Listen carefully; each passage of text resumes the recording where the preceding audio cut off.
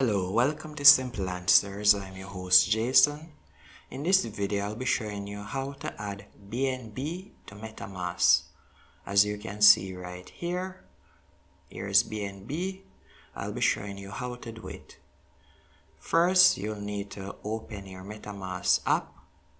Then you're going to tap on the three dashes in the top left hand corner and you're going to select settings Next, you're going to tap on networks and you're going to tap on add network and the information that you'll need to fill out right here, I'll be leaving it in the description. You can simply copy and paste it. Then you're going to tap on add. And when you're complete, it will look just like this.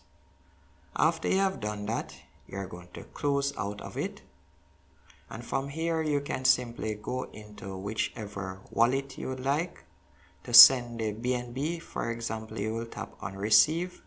Because after creating this following the steps that I showed you a while ago you will have two accounts. You'll have the first account right here that you get whenever you open or create a MetaMask wallet. And you'll get the second option which you'll see all of the BEP20 tokens.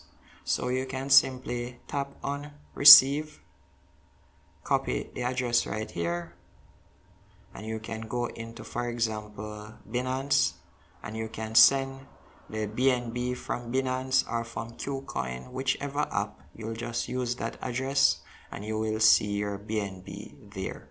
Hope you found this video helpful and informative on how to add BNB to MetaMask.